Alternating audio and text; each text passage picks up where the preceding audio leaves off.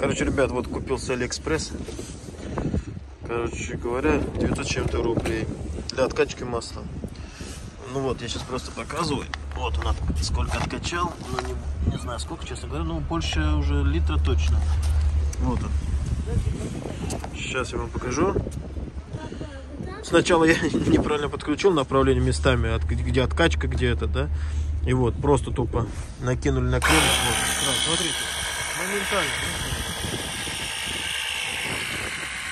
Сейчас посмотрим, сколько масла вытащим. Работать громко, да и подвигу. Зато у меня вот фильтр здесь. Сейчас что мне надо? Сейчас откачать масло, отключу фильтр. Вот тряпку туда под нее кину.